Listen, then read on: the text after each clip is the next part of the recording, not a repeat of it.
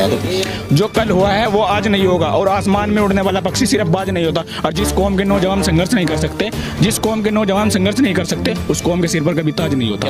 बहुत बढ़िया। ताली बजा दो भाई इसके लिए। और नीला गंग, नीला झंडा नील गगन में मिलकर हम लहराएँगे कि नीला झंडा नील गगन में मिलकर हम फैलाएँगे और जो जलते हैं ना अंबेडकर वादियों से उन्हें मिलकर हम जलाएँगे उन्हें मिलकर हम जलाएँगे। जय भीम। अंबेडकर वादी चुनाव को लेकर हम लगातार निकल रहे हैं लोगों से मिल रहे हैं तो सोचा एक नव युवा से बात की जाए कि युवा जो है वो किस प्रकार जो है इस बार का चुनाव देख रहा है। नाम बताओ पहले क्या क्या नाम है? सन्नी कुमार। सन्नी। जैसे आप युवा हैं और आप चुनाव राजनीति की समझ तो रखते हो थोड़ी बहुत ही। जी हैं? जी। राजनीति में अच्छा कौन कौन नेता है बड़े बड़े नेताओं के नाम बताओ। जैसे कि मायावती जी हुई मोदी जी हुए और एडवोकेट चंद्रशेखर भाई जी हुए। चंद्रशेखर चंद्रशेखर को भी जानते हो? जी जी। गाँव कौन सा तुम्हारा सोन अर्जुनपुर वोट वोट बनी नहीं बनी? बन गया अभी बनी। अच्छा वोट आ गई तुम्हारी आगे जी। अच्छा तो जैसे वोट आ गई तो अब की बार मतलब मन क्या बन रहा कि पहली वोट है बेकार ना जाए और किसको दी जाए वोट ऐसे? क्या मन बना? चंद्रशेखर भाई को दिया जाए। चंद्रशेखर। जी। चंद्रशेखर। जी। चंद्रशेखर में ऐसी क्या खास बात लगी? जैसे और भी है अखिलेश है युवाओं के लिए बतेरा काम कर रहे हैं मायावती है और ये बीजेपी भी बहुत काम कह रही है हमने युवाओं के लिए बतेरा काम कर दिया। चंद्रशेखर में क्या खास बात लगी आप? जैसे कि साढ़े छः सौ साल जो गुरु रविदास जी का मंदिर था दिल्ली तुलागाबाद में दो टोड़े गया तो वहाँ कोई पार्टी का नेता नहीं गया। वहाँ सिर्फ़ एडवोकेट चंद्रशेखर भाई जी गए। और वहाँ की बात छोड़ दो जो हमारे गाँव में सोनर जूनपुर में इंटर कॉलेज में बाबा साहब की प्रतिमा को पढ़ा गया था और उस पर थूका थूका गया था कुछ ठाकुर के लड़कों ने तो वहाँ भी कोई नहीं गया मोल्लू भी नहीं गया वहाँ से चंद्रशेखर भाई की टीम गई भीम में गई।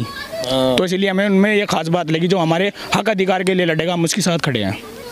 जो साथ खड़ा होगा। जी। ये और नेता नहीं आते साथ। कोई नहीं आया मोल्लू पे भी हमने संपर्क करा था मोल्लू भी नहीं आया ना कोई पार्टी का नेता नहीं आया सिर्फ़ एडवोकेट चंद्रशेखर भाई जी की टीम आई और रोहित राज गौतम जी आए वहाँ पे रामपुर के जो जिला अध्यक्ष जी आए।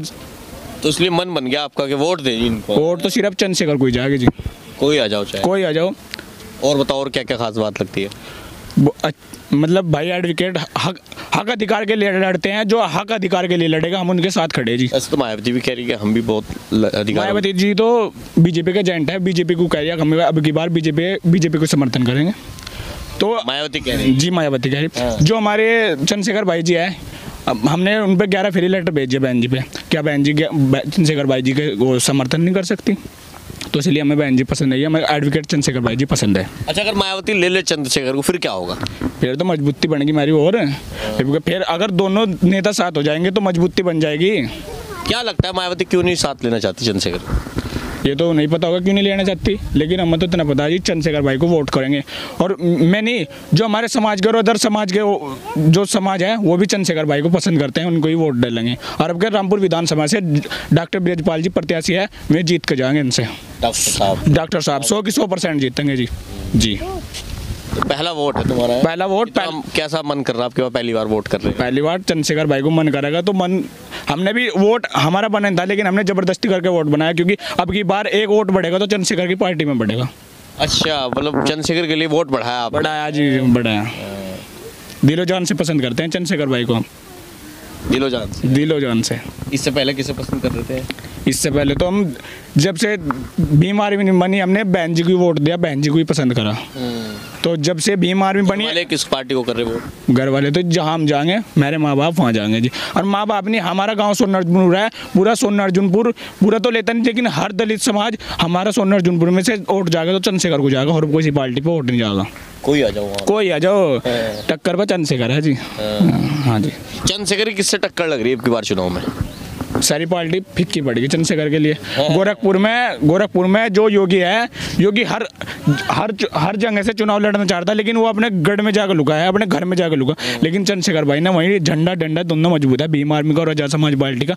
योगी को हम गोरखपुर से हराने की पूरी पूरी कोशिश करेंगे और योगी वन से हारेगा भी और चंद्रशेखर जी वहाँ से जीतेंगे। कोशिश करते हैं। कोशिश नहीं कोशिश होगी हमारी सफल है सफल है। सफल है हरा रहे हैं हरा दिया। शेर शायरी करते हो हाँ जी। जो कल हुआ है वो आज नहीं होगा। और आसमान में उड़ने वाला पक्षी सिर्फ़ बाज नहीं होता। और जिस कौम के नौजवान संघर्ष नहीं कर सकते जिस कौम के नौजवान संघर्ष नहीं कर सकते उस कौम के सिर पर कभी ताज नहीं होता। क्या बात है बहुत बढ़िया। ताली बजा दो भाई इसके लिए। और नीला गंग, नीला झंडा नील गगन में मिलकर हम लहराएँगे कि नीला झंडा नील गगन में मिलकर हम फैलाएँगे और जो जलते हैं ना अंबेडकर वादियों से उन्हें मिलकर हम जलाएँगे उन्हें मिलकर हम जलाएँगे। जय भीम। अंबेडकर वादियों जी। नाम बताओ क्या सन्नी कुमार। सोनार सोननाथ मोड़ से। रामपुर मनियारन जी रामपुर मनियारन तो देखिए, हमारे साथ जो है सन्नी एक युवा है जो पहली बार वोट करने जा रहा है और पहला पहला वोट है तो बड़ा उत्साह है युवा में कि पहली बार जो है हम ऐसे नौजवान को चुने जो उनकी बात करता हो, उनकी, उनके हक अधिकारों के लिए लड़ता हो।